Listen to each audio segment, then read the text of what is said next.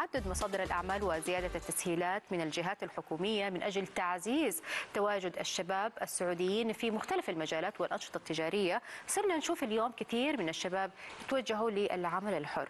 إيش هي مميزات العمل الحر وإيش هي مجالاته الأكثر ربحا حنتكلم عن هذا الموضوع بتفاصيل أكثر ينضم معنا في الاستديو الأستاذ جمال الفضلي مستشار في التخطيط والتسويق. أهلا وسهلا بك أستاذ جمال. هلا ومرحبا. حياكم الله وأشكركم ألف شكر على الاستضافة المره الثانية حياك الله. شاء منورنا الله دائما نفيد المشاهدين. مطورنا منورنا دائما على سيرة التطوير نبغى نتكلم هذه التطويرات اللي قاعدين أو تطورات عفوا اللي بنعيشها مؤخرا. بنشوف إن آه، الشباب صاروا يتوجهوا لأكثر من عمل حر في نفس الوقت. أبغى أعرف يعني آه، كيف تغير المفهوم عن السابق بما يتعلق بالعمل الحر.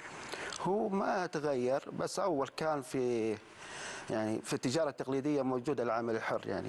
فمثلا اللي يفتح له مشروع خاص بزنس خاص له يسترزق منه زين.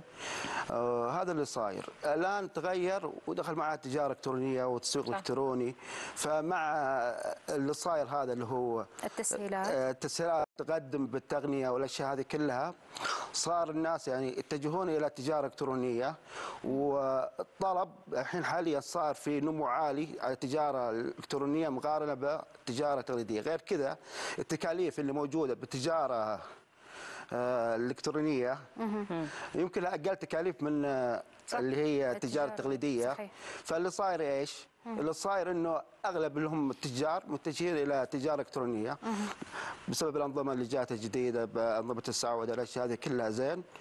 والرخص والأشياء هذه كلها فهناك فيها صعوبات يعني موجودة عندهم هناك العكس في التجارة الالكترونيه في تسهيلات أكثر صحيح. فهي تحفز يعني تحفز آه، التجار أو أصحاب الأعمال ينتقلون من التجارة التقليدية إلى جميل. التجارة الالكترونيه غير إن حياتنا تغيرت أستاذ جمال يعني إحنا كمستهلكين صرنا نفضل ال online shopping يعني نفضل آه، المتاجر اللي آه، يعني نستخدم فيها آه، تطبيقات أو أو غير يعني عن بعد.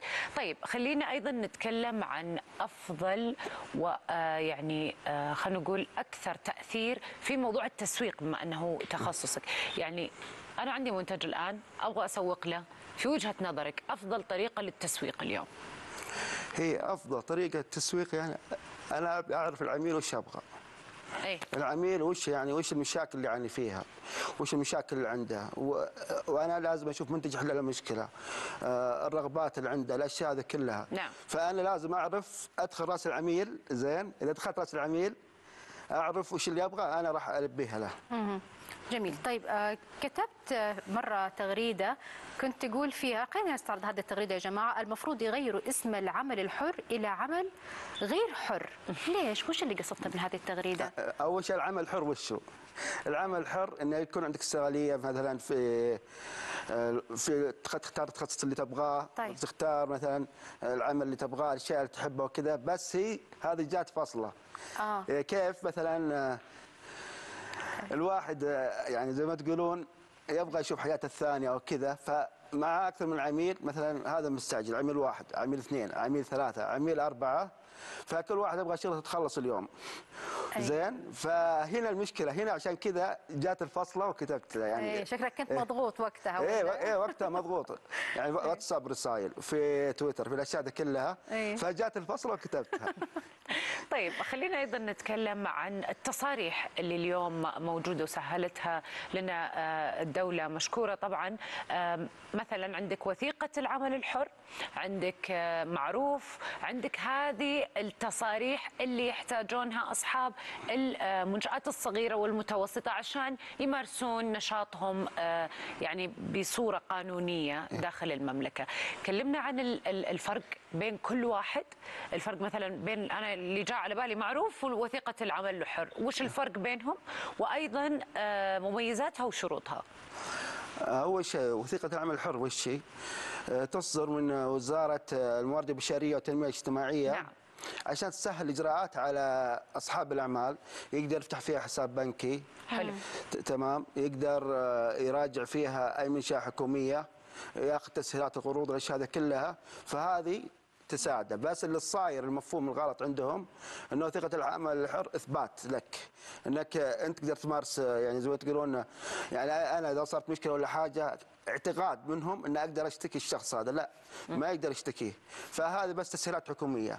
إذا جينا نشوف منصة معروف وش اللي نحصل فيها؟ منصة معروف هذه سابقا خلاص الحين سكرت. وانتقلوا إلى منصة الأعمال تبع وزارة التجارة. هذه هي اللي مثلا اللي آه، تضمن حق العميل وتخليه يكسب ثقة أكثر. فاللي يبغى اللي يبغى مثلا يدخل على مثلا هذه منصة اعمال لازم يكون عنده أما وثيقة عمل حر أو سجل تجاري يقدر مثلا يمارس في النشاط هذا. إيه؟ طب يعني بس عفوا أنا ودي يعني يعني أتأكد من الموضوع معروف يعني معروف الآن اللغة من النظام؟ مع- معروف الآن website موجود. زين اللي يدخل يسجل في معروف redirect على منصة الأعمال. يعني ياخذه ويحول على طول إلى منصة الأعمال. هم توهم بادين فيها. نعم. لأن عادة بنشوف إنه في كثير ناس اللي آه، يعني عندهم تجارة إلكترونية تحديدا يقول لك مثلا مسجل في معروف أو آه، مثلا وثيقة عمل حر وغيرها. لما نتكلم عن هذه الأشياء اللي المفروض تكون مذكورة للمستهلك هل هذا معناه إن ال- التاجر هو اللي قاعد يحمي نفسه ولا حماية للمستهلك؟ هي التاجر اول شيء يسعى لمين؟ يسعى لرضا عميله، يسعى مثلا إنه يكسب الثقة يعني الثقة يكسبها يكسبها من العميل. عشان يزيل المخاوف ويزيل الأشياء كلها ف يقول أنا مثلا معي مثلا مسجل مثلا في منصة معروف في العمل الحر كذا بس يزيل المخاوف بينه وبين العميل. فهي كل فيها فائدة للطرفين. وفي حماية أصلا للطرفين بس. نعم. أيضا نتكلم عن آه، بنك التنمية الاجتماعية اليوم آه، في المملكة. آه، عندهم تم- تمويل للأعمال نعم. الحرة وللأشخاص المهتمين في هذا المجال. يا ريت لو تعطينا نبذة سريعة عنه اليوم عشان نفيد المشاهدين. هو التمويل يصل إلى 120 ألف. تقريبا في له رسوم إدارية آه، 7500 تقريبا تنخصم منه آه، يستهدف المواطنين من 18 إلى وفوق تقريبا إلى 60 أو كذا. آه، يكون عندهم آيبان آه، حساب آيبان يكون عندهم آه، عنوان وطني. عشان بس يحصلون على التمويل بس هذا. إيش شروطها؟ يعني أنا الآن عندي هذا اللي الحين قلت لك إنه مواطن. مواطن. إيه. أوكي. العمر. آه، العمر 17 وفوق طيب ما يحتاج أقدم له مثلا دراسة جدوى أو لا. يعني فكرة المشروع بس كذا على دراسة الجدوى هذا مع معهد رياده. okay. معهد رياده أقدم معهد رياده بعدين أسوي معي مقابلة شخصية على المشروع. بعد ما أنج... بعد ما أجتاز المقابلة بدخل معه مثلا أسبوعين ثلاثة في دورة تدريبية مع استشاري محاسبي جميل. أيوه ورسوم 1000 ريال وممكن أقدر أفيد الأشخاص إنه مو شرط إن أنت يعني تأخذها عشان تمويل نعم. تقدر تدخل تمويل من عندك نعم. زين وبيكون معك مثلا استشاري أسبوعين ثلاثة ممتاز. في نفس الدورة وهي- وبتطلع بمخرجات كويسة أنا بعضهم راح يتجه وين؟ يتجه مثلا لشركات استشارية وهو ما عنده مبلغ يمكن يتسلف آه، مبلغ فوق ال 100000 150000 بس عشان الدراسة أيوه توصل ل 100 150000 أيوة. إيه توصل طيب السنة. يحتاج لها كفيل أو لا لا تحتاج لها كفيل بس اذا هو جاب التمويل من عنده خلاص التمويل هو بيدفع تمويل كامل لا ما يحتاج كفيل فبالتالي يكون معاه مستشار بس حتى يعني زي ما يقولوا كذا يقولوا إيش هي الخطوات حتى إيه، وش هي. الخطوات؟ وش مثلا أي. آه، الدراسة الفنية والتسويقية والأشياء هذه كلها جميل. والمحاسبة إيه. المستشار في التخطيط والتسويق الأستاذ جمال فضلي شكرا لك وشكرا لتواجدك اليوم معنا. ألف شكر على الاستضافه وعلى إتاحة الفرصة وإن شاء الله نفدت الجميع ان شاء الله. إحنا المفروض نحمد ربنا في اليوم ألف مرة إنه إحنا نعيش في دولة قاعدة تدعم الشباب والبنات حتى اللي عندهم طموح. آه، تعال عندك فكرة؟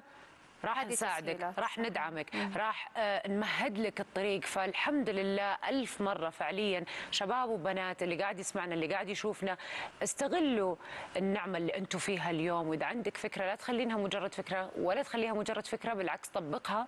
وراك ناس راح آه، تدعمك وراك دولة راح آه، تدعمك. وفعلا فعلا اللي قاعدين نسمعه واللي قاعدين نشوفه اليوم حتى التأهيل والدورات اللي ذكرها أستاذ جمال جدا رائعة. وأكيد كل الشكر لكل القائمين عليها. مشاهدينا فاصل قصير ونرجع.